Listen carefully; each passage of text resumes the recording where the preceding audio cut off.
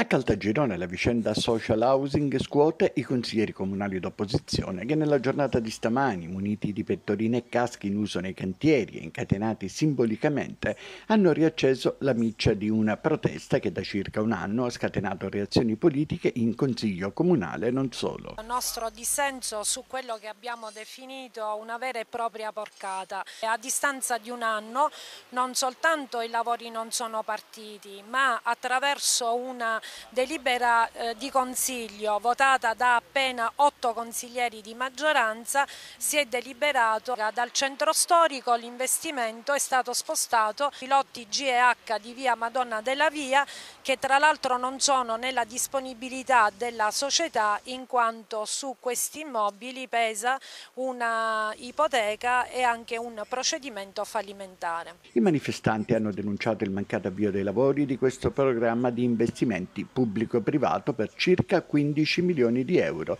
dalle cui somme si dovevano realizzare inizialmente 33 alloggi a canone sostenibile e opere di urbanizzazione, oltre una caserma per il commissariato di pubblica sicurezza, ma che oggi ha già una sede. Che è il primo anniversario dalla consegna dei lavori, il 21 dicembre 2018, eppure il Comune di Caltagirone, utilizzando le risorse pubbliche. Ha già dato alla ditta Caltagirone Social Housing ben 1.160.000 euro eh, la concessione edilizia è scaduta il 20 dicembre del 2019. È grave che si facciano gli interessi di carattere estraneo a quelli che sono gli interessi pubblici. L'abbiamo definita una porcata perché si tradisce quello che è l'interesse del nostro centro storico. I consiglieri d'opposizione hanno insomma contestato le rimodulazioni al progetto attuate dall'amministrazione comunale. L'investimento originariamente prevedeva la ristrutturazione dei palazzi ingressi all'Anzirotte, alle cui zone si riferiscono le immagini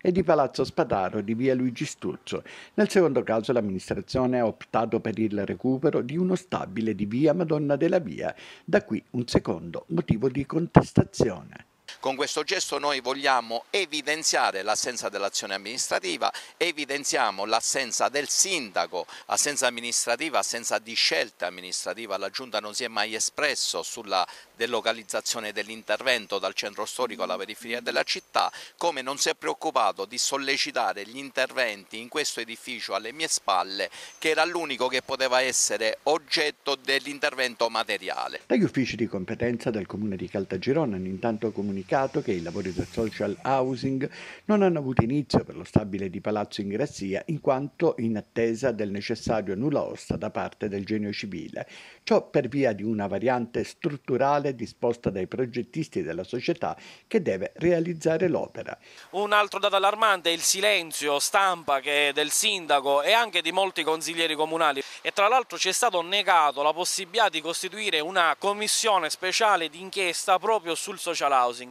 però guarda caso poi il, proprio il Presidente del Consiglio con il gruppo a cui lui appartiene eh, presenta un esposto in procura che anche noi come gruppo di opposizione abbiamo presentato un corposo eh, esposto in procura proprio per fare chiarezza su questa eh, strana vicenda.